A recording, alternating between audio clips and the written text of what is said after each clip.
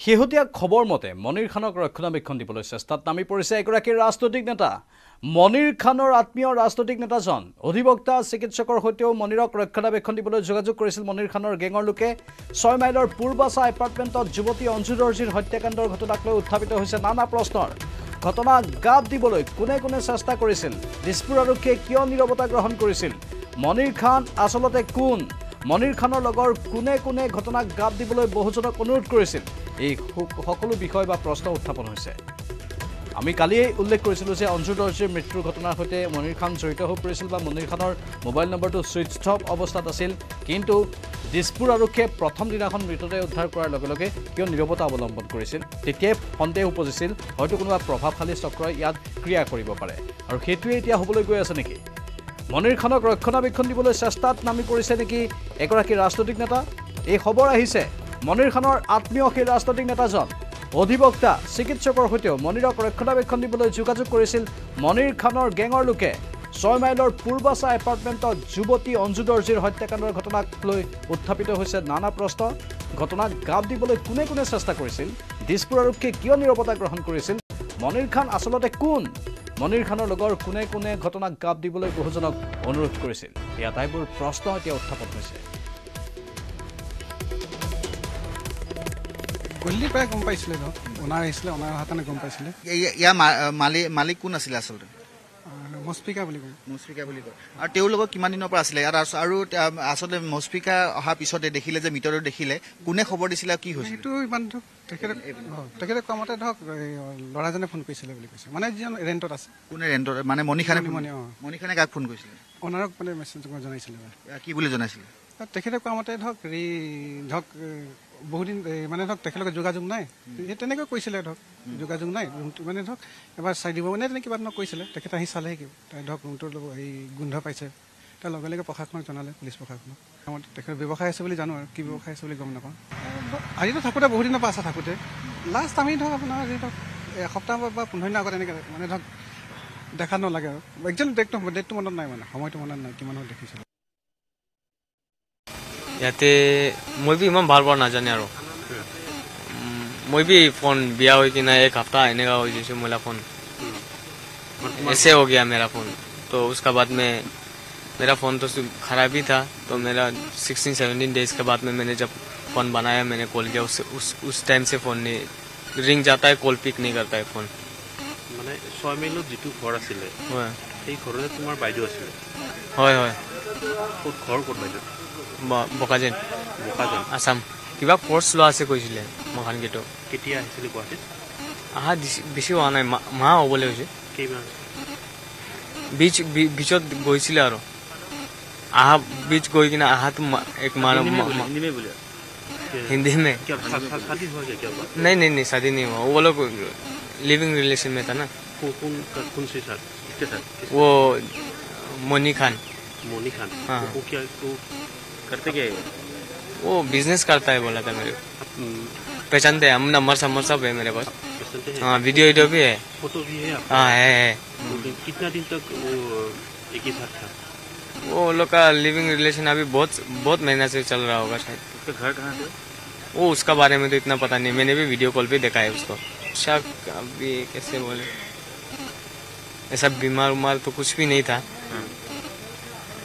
Suicide भी तो नहीं कर सकता है ना। मर्डर मर्डर ही होगा शायद लेकिन इतना श्योर भी हम भी बोल नहीं सकता है ना हम भी खुद आ- मेरे आँख से तो देखा नहीं है ना मैंने भी मुझे- क्या बताया आपको मोनी खान को आपको फोन किया नहीं नहीं नहीं उसका फोन भी स्विच ऑफ है अभी सिस्टर बहुत पहले से स्विच ऑफ है उसका फोन এইবাৰ সলমান খানৰ ফেনৰ আজব কাণ্ড সলমানৰ ছবি চলি থকাৰ সময়তে চিনেমা হলৰ ভিতৰতে ফটকা ফুটালে সলমানৰ অনুৰাগীয়ে সলমানৰ শেহতীয়া ছবি টাইগাৰ থ্ৰীৰ মুক্তিৰ দিনা এই ঘটনা সংঘটিত হয় মহাৰাষ্ট্ৰৰ মালেগাঁৱৰ এটা চিনেমা হলৰ ভিতৰত ফটকা ফুটোৱাৰ ফলত হাহাকাৰ পৰিস্থিতিৰ উদ্ভৱ হয়। আতংকিত হৈ হলৰ ভিতৰত হোৱা দোৱা লাগে দৰ্শকৰ মাজত। আতংকিত হৈ হলৰ পৰা পলায়ন কৰে দৰ্শকে। দৌৰা দৌৰিৰ ফলত আহত হ'ল কেইবাজনো দৰ্শক। উল্লেখযোগ্য যে সলমান খানে প্ৰায়ে তেওঁৰ নতুন চিনেমা দেৱালীৰ সময়ত মুক্তি দিয়ে। এইবাৰ দেৱালীৰ মাজতে মুক্তি পালে সলমানৰ টাইগাৰ থ্ৰী। সলমান খানৰ ফেন ক্লাবে সলমান খানৰ ছবি মুক্তি পালে প্ৰায় এনেদৰে হলৰ ভিতৰতে ফটকা ফুটায়। কিন্তু এইবাৰ ফটকাৰ পৰিমাণ বেছি হোৱাত আতংকিত হৈ দৰ্শকে পলায়ন কৰিবলৈ বাধ্য হয়।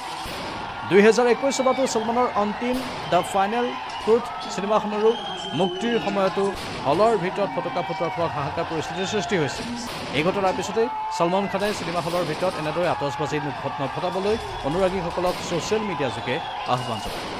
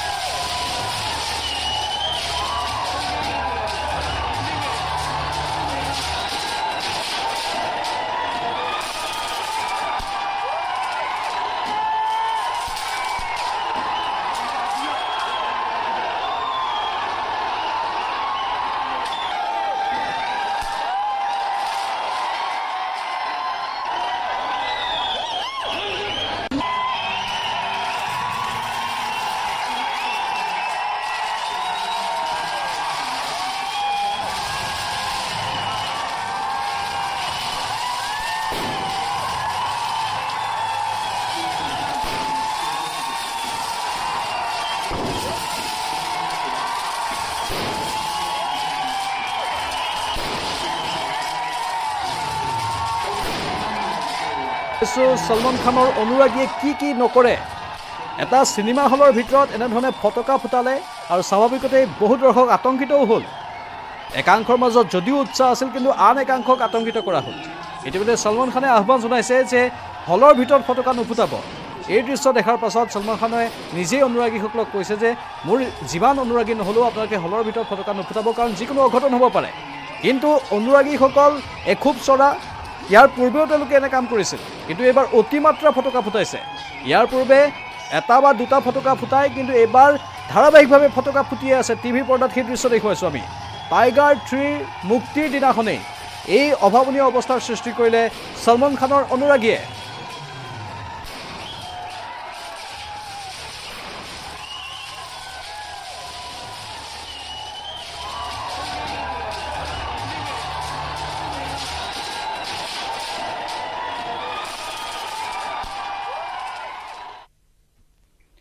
নিশা সুৰামত্ত যুৱতীয়ে নগুৰ নাকতি কৰিলে আৰক্ষীক জু ৰোডৰ উৰণ ক্ষেত্ৰত যুৱতীৰ বহুৱালে। আৰক্ষীৰ ইউনিফৰ্মৰ নাম ফলকো ছিঙি দিলে সুৰামত্ত যুৱতীয়ে। আৰক্ষীয়ে বাইক ৰখোৱাক লৈ তৰ্কযুদ্ধ যুৱতীৰ। নিশা ড্ৰিংক এণ্ড ড্ৰাইভৰ তালাচীৰ সময়তে সংঘটিত হয় এই ঘটনা। আৰক্ষীৰ সৈতে খণ্ডযুদ্ধত লিপ্ত হ'ল এইগৰাকী যুৱতী। নিশা সুৰামত্ত যুৱতী এনেধৰণে নগুৰ নাকতি কৰিলে আৰক্ষীৰ উৰণ ক্ষেত্ৰত যুৱতীৰ এয়া হ'ল বহুৱালে। আপুনি কোন হয়? কিয় কৰিম? ভিডিঅ' কৰিমেই আপুনি মাল খাই ইয়াতে হেৰি কৰি অপজামি কৰি আছে। হা? আপুনি আপুনি কিয় কৰি আছে এইবিলাক? আমি ইয়াৰ পৰা ওলাইছো মোৰ মুখৰ আগত দুটা লগৰ আমাৰ দুটা লগৰ ওলাই গ'ল সিহঁতক নধৰিল আমাক ধৰিল লাইচেঞ্চ খুজিল লাইচেঞ্চ দিছো আপোনাক। আপুনি ড্ৰিংক কৰিছে? আপুনি ড্ৰিংক এণ্ড টাইপ কৰিছে না। ঐ মিথুন মেচিনটো লৈ লাইচেঞ্চটো হেৰি কৰিম চিজ কৰিম। লাইচেঞ্চ চিজ কৰিম কিয় নোৱাৰে? কোনে ক'লে? কোনে ক'লে নোৱাৰে? এটা লাইচেঞ্চ চিজ কৰিম বাইদেউ। বেছি নাজানিব। আপোনাৰ লাইচেঞ্চ চিজ হ'ব এতিয়া চিজ হ'ব আপোনাক আপুনি কি ড্ৰিংক কৰিছে? ড্ৰিংক কৰি গাড়ী চলাব নোৱাৰে।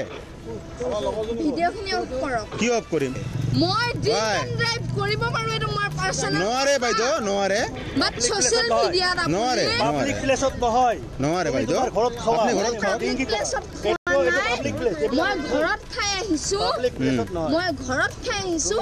ইয়াৰ পৰা বাইদেউ আইদ মালই লক চাবি মালই লক নি দিয়ে না না না না না না কি হল? চাবি দে হ্যাঁ মই বাইকত চাবি রাখিছিল বাইকৰ চাবি মই পোৱা নাই নহয় মই গাড়ীখন চাক কৰিছো যে। ঠিক আছে লাইসেন্স ড্ৰিংকিং টাইপ কৰি আইছে লাইসেন্স নি লাইসেন্স নি দিও হাত নি দিব গাত। তু যা। মে সল কৰলে গা তু যা। তু যা। লাইসেন্স কোন মু দিও নি দিও নি দিও নি দিও অরিজিনাল সিজ কৰিম এটো পঠাম ভিডিও পঠাম। এটা কপি ফ্ৰিজ সিজ হ'ব। এটো অৰিজিনাল টু হ'ব। এটা হ'ব ঘৰ। অৰিজিনেলটো হ'ব ডুপ্লিকেটটো নহয়। তুমি হয় আই এম কোনটো নাম আছে আপোনাৰ বাইদেউ হা? কিয় চুপ থাকিব? কিয় চুপ থাকিব? আমি ডিউটি কৰি আছো হা। গুড দাদা হা। কিয় নকৰিম? কৰিম আমি ভিডিঅ' অপদ্ৰামী কৰি আছে আপুনি বাইদেউ। অপদ্ৰামী আপুনি কৰি আছে। অপদ্ৰামী আপুনি কৰি আছে আমি নহয়। আপুনি কোন হয় তেখেতৰ কৰা নাই কৰা নাই কৰা। ই মোৰ ষ্টাফ হা? ই মোৰ ষ্টাফ হয়। হা। আপুনি কোন হয়? আৰে ভিডিঅ' কিয় কৰিম? ভিডিঅ' কৰিমেই আপুনি মাল খাই ইয়াতে হেৰি কৰি অপদ্ৰামী কৰি আছে। হা?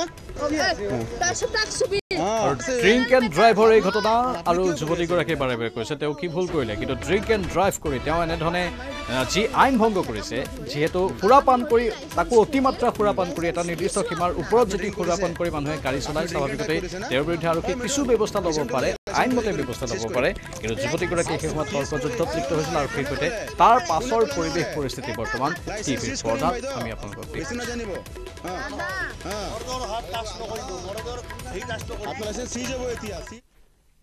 বিশ্বকাপত অভিলেখ গঢ়িলে ভাৰতে। বিশ্বকাপত একেৰাহে নখন মেটছত জয়লাভ কৰাৰ অভিলেখ টীম ইণ্ডিয়াৰ। অষ্ট্ৰেলিয়াৰ পিছতে একেবাৰে সৰ্বাধিক খেল জয় কৰা দলত পৰিণত হ'ল টীম ইণ্ডিয়া। ইয়াৰ পূৰ্বে অষ্ট্ৰেলিয়াই দুহেজাৰ তিনি আৰু দুহেজাৰ সাতৰ বিশ্বকাপত একেৰাহে এঘাৰখনকৈ খেলত জয়লাভ কৰিছিল। লগতে বিশ্বকাপো জয়লাভ কৰিছিল অষ্ট্ৰেলিয়াই। আনহাতে ভাৰতে দুহেজাৰ তিনি চনত সৰ্বাধিক আঠখন খেলত একেৰাহে জয়লাভ কৰিছিল। দুহেজাৰ তিনিৰ বিশ্বকাপত ছেমি ফাইনেল অৰ্থাৎ ন নৱেম্বৰ ন নম্বৰ খেলখনত অষ্ট্ৰেলিয়াৰ হাতত তেতিয়া ভাৰত পৰাস্ত হৈছিল। এইবাৰ ভাৰতে বিশ্বকাপ জয় কৰিলে একেৰাহে এঘাৰখন খেলত জয়লাভৰ অভিলেখ গঢ়িব পাৰিব।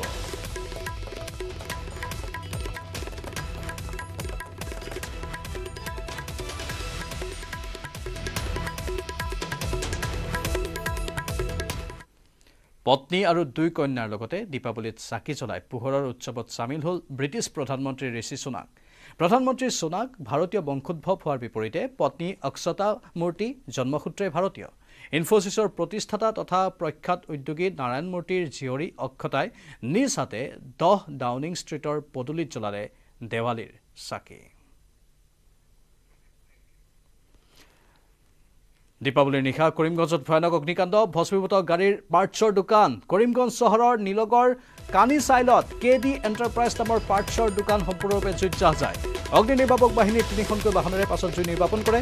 ফটকাৰ ফিৰিঙতি অথবা শ্বৰ্ট চাৰ্কিটৰ পৰা অগ্নিকাণ্ডৰ সূত্ৰপাত হোৱাৰ সন্দেহ কৰা হৈছে। অগ্নিকাণ্ডৰ ফলত কেইবালাখ টকাৰ সামগ্ৰীৰ ক্ষতিসাধন হৈছে। এয়া হৈছে দীপাৱলীৰ নিশা কৰিমগঞ্জত সংঘটিত ভয়ানক অগ্নিকাণ্ডৰ দৃশ্য। ভস্মীভূত হ'ল গাড়ীৰ পাৰ্টছৰ দোকান। কৰিমগঞ্জ চহৰৰ নীলগড় কানিচাইলত কে ডি এণ্টাৰপ্ৰাইজ নামৰ পাৰ্টছৰ দোকান সম্পূৰ্ণৰূপে জুইত জাহ যায়।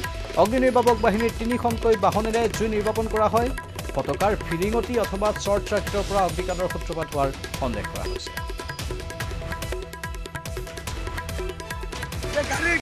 তাই না পাৰ্সেল গ্যাৰেজ পাৰ্সেল গ্যাৰেজ এটা। হ্যাঁ টাইম বারবার ওইটা আমরা আমার শর্ট সার্কিট হয়েছে শর্ট সার্কিট হয়েছে কিনা না এটা তখন বুঝতে পারি আর নাম না। যেটাও ভালো মানে আমরা কিছু করি না যে কিছু বড় কিছু হয়েছে না। এটা লিয়ে আমরা ফায়ার ব্রিগেডে ধন্যবাদ জানাই যে খুবই শীঘ্রই তাড়াতাড়ি আমরা কথার রেসপন্স দিয়া তাড়াতাড়ি আমরা এখানে ইয়া আগুনটারে স্তব্ধ করছে। এটা লিয়ে আমি ফায়ার ব্রিগেডে খুব কৃতজ্ঞ জানাই ইয়া ওটা গ্যারে- গ্যারেজের নাম হলো এমডি এন্টারপ্রাইজ তাই গ্যারেজের নাম মালিনটা সঠিক আমি একটু ভুলে গেছি। ফিরবি কয়া এমডি এন্টারপ্রাইজ বাতৰিখিনিতে সময় হৈছে বাণিজ্যিক বিৰতিৰ। ভাৰতৰ গৌৰৱ গোটেই বিশ্বতেই ইয়াৰ সন্মান ষ্ট্ৰং মানে মাইথান ষ্টীল।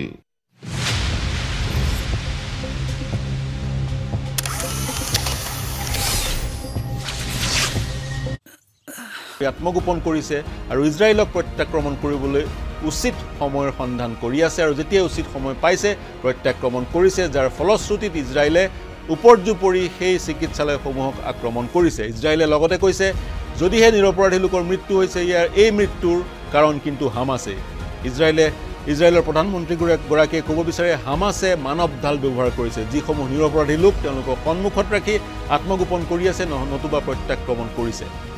এয়া হৈছে শেহতীয়া অবৰ্ণনীয় পৰিস্থিতি গাজা ষ্ট্ৰীপৰ। এতিয়ালৈকে এঘাৰ হাজাৰ সাতশ লোকৰ মৃত্যু হ'ল যি চৈধ্যশ লোকৰ মৃত্যু হৈছিল ইজৰাইলৰ লোকৰ মৃত্যু হৈছিল। সেই মৃত্যু সেই অক্টোবৰৰ সাত তাৰিখৰ অভিশপ্ত শনিবাৰটোতে হৈছিল। বাকীসকল লোক গাজাৰ স্থানীয় নিবাসী।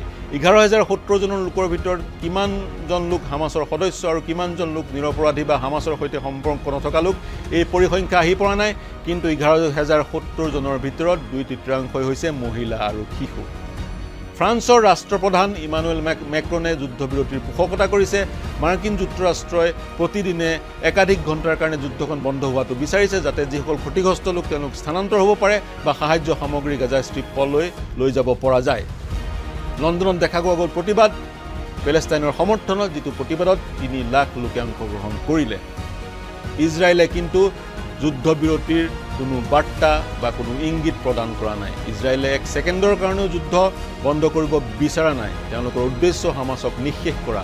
আৰৱ বিশ্বই প্ৰতিক্ৰিয়া প্ৰকাশ কৰিবলৈ আৰম্ভ কৰিছে যদিও প্ৰত্যক্ষভাৱে যুদ্ধখনত জড়িত হোৱা নাই। কালি অনুষ্ঠিত হৈছিল অৰ্গেনাইজেশ্যন অফ ইছলামিক কোঅপাৰেশ্যনৰ এখন বৈঠক যিখন বৈঠকত আৰৱ লীগৰ সদস্যসকলো আছিলে। মহম্মদ বিন ছলমান ছৌদি আৰবিয়াৰ ৰাষ্ট্ৰপ্ৰধান তেওঁ কিন্তু গৰিহণা দিছে যুদ্ধখনক। আৰু ৰিয়াদাহত অনুষ্ঠিত হোৱা এইখন বৈঠকত ইৰাণৰ ৰাষ্ট্ৰপ্ৰধানো উপস্থিত আছিলে। তেওঁ কিন্তু ইজৰাইলী সেনাক সন্ত্ৰাসবাদী হিচাপে গণ্য কৰিবলৈ আহ্বান জনাইছে। হামাছ কেতিয়া নিঃশেষ হ'ব হামাছৰ নিঃশেষ হোৱাৰ এই প্ৰক্ৰিয়াটোত আৰু কিমান নিৰপৰাধী লোকৰ মৃত্যু হ'ব এই মুহূৰ্তত এই প্ৰশ্নই সকলোকে জোকাৰি গৈছে সমগ্ৰ বিশ্বক জোকাৰি গৈছে। ইউনাইটেড নেশ্যনছে লোৱা পদক্ষেপে একো ফল ধৰা নাই।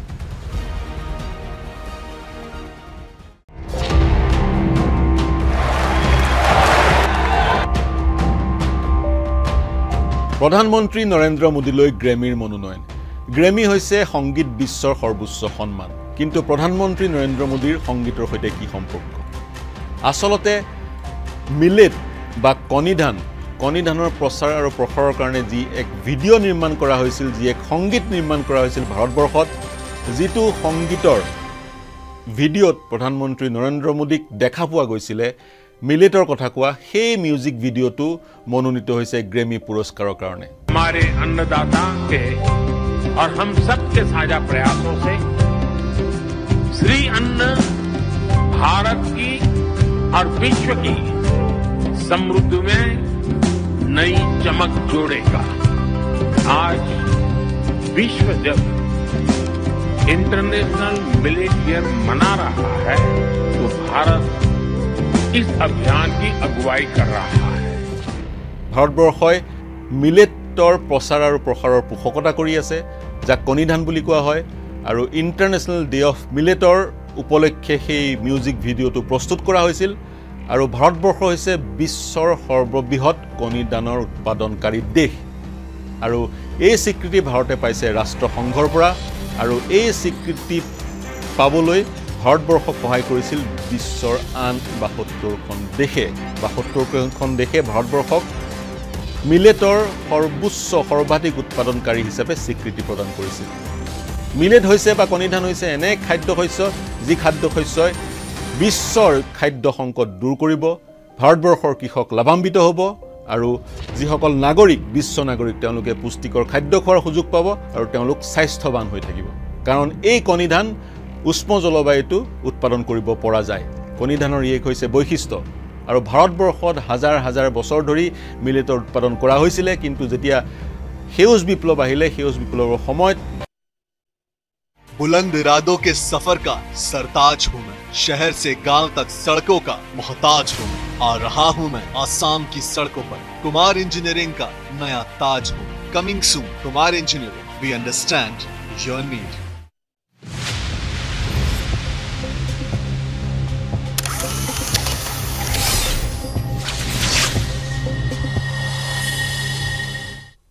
উভতি আহিছোঁ বাতৰিৰ মাজলৈ দীপাৱলীৰ পিছতে দিল্লীত পুনৰ ভয়ংকৰ বায়ু প্ৰদূষণ। ফটকা আতচবাজীৰ ধোঁৱাই আৱৰি ধৰিছে দিল্লীৰ আকাশ বতাহ।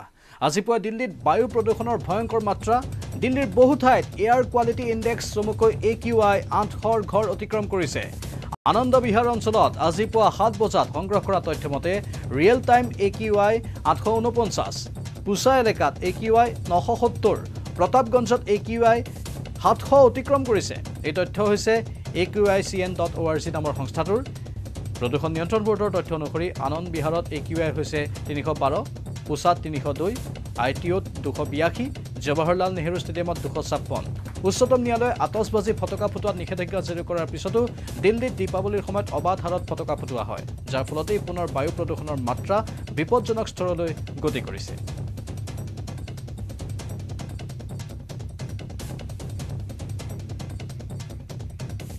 আৰু এই ক্ষেত্ৰত আমাৰ সাংবাদিক অঞ্চলৰ এক ৰিপৰ্ট দিল্লীৰ পৰা আগবঢ়াইছোঁ।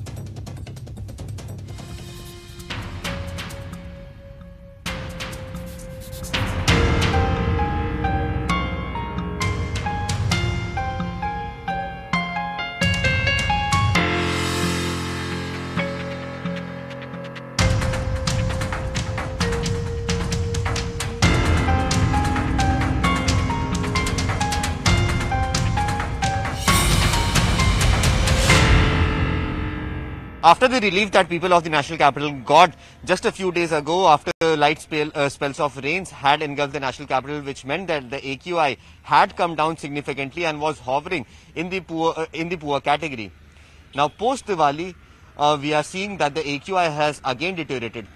Currently, I'm reporting from Kartavyapat and just move to the frame and try and show you in the visuals over here that uh, another layer of smog has yet again engulfed the national capital. But remember, this is not only smog, but what experts are saying that there is element of fog that is also uh, in this uh, in these visuals that you are seeing on your screens right now. Uh, so yes, the AQI has deteriorated after after Diwali, but remember the AQI uh, was already in the severe category at least two to three days ago, and today as well the AQI is still hovering uh, within the uh, very poor to poor, uh, poor ca- uh, category, uh, but yet, yet it is still very very uh, difficult for people to breathe out here. Remember the manner in which the Supreme Court orders of not bursting any sort of crackers was flouted yesterday. There were several cases that were seen out here in the national capital where this order of the Supreme Court of not bursting any sort of cracker was uh, definitely flouted. In fact, the fire department itself had got more than 100 calls till t- uh, 10 p.m. itself. So it actually shows that the people of the national capital in fact, the majority of the people of the national capital were actually not burst, bursting crackers, but yes, there was a significant number who were seen flouting these norms and bursting crackers, because of which we are seeing that the AQI has yet again deteriorated out here in the national capital and is yet again in the very, very poor category. Now today the prediction from the IMD is that once the sun is out, the wind speeds are likely to pick up and these pollutants would yet again be washed away. And that is the only silver lining for the people out here in the national capital. But remember, over the next few days as well, the AQI is likely to remain in the poor to very poor category and in fact is likely to deteriorate yet again in the severe category as well because of the wind directions. Now what remains to be seen is to what new plans can the Delhi government and the Delhi administration make sure that they initially make and make sure that is implemented on the ground to the T so that some sort of immediate relief can be provided to the people out here in the national capital who have been suffering from this deteriorating air quality for at least the last 10 days. Currently, I'm reporting from the pollution hotspot out here in the national capital, that is the Anand Vihar bus terminal. And if I could just show you in the visuals uh, around here, the visibility is not as bad as it was expected. The AQI out here in the national capital remains to be in the very poor category, although the measures of GRAP 4 has been implemented. But yes, the manner in which the order of the Supreme Court of not bursting crackers uh, was flouted by several people out here in the national capital, that has ma- made sure that the AQI deteriorates yet again. But if you compare the AQI that is today, the, the very next day, post Diwali, uh, with with the yesteryears, you can actually see that the AQI is not as bad as it was expected, and in fact, it has somewhere or the other uh, been better than what it was la- last year. Uh, uh, last year at uh, this time around. Also, what we have seen that uh, yes, there were several people who had flouted the uh, flouted the norms and had gone ahead and busted crackers through the night uh, on the day of Diwali. But yes, today the AQI has definitely deteriorated, but it is not as bad as, it can be seen. On the other hand, we have seen a lot of politics that has already started to happen in this entire matter. The opposition leaders are already coming on record and at and putting blame on the BJP leaders because they were the people who instigated people to go ahead and burst these crackers. So yes, the political uh, blame game has already started. But if you speak about the AQI, the AQI has definitely deteriorated post Diwali, but it is not as bad as it was over the last many years, right after the day of Diwali. Currently, I'm reporting from Akshadham Temple, where I could just show you in the visuals around here that yet again today a cloud of smog has yet again engulfed the national capital. Remember, over the weekend we saw that there were spells of rain, which meant that the AQI in the national capital has had improved significantly. But post Diwali, yet again, we are we are seeing uh, that the AQI in the national capital has yet again deteriorated. The main reason behind this is being said uh, to be the manner in which the norms were flouted by the residents of the national capital even after the orders of the Supreme Court which meant that there was a blanket ban on bursting of any sort of crackers. That was flouted significantly out here in the national capital and that is the reason why we are seeing that the AQI out here has yet again deteriorated. Over the next few days, the IMD predicts that the AQI might improve due to the wind conditions. But if you look at the longer run over the next one week, the AQI is yet again going to get back into the severe category, which means that it is yet again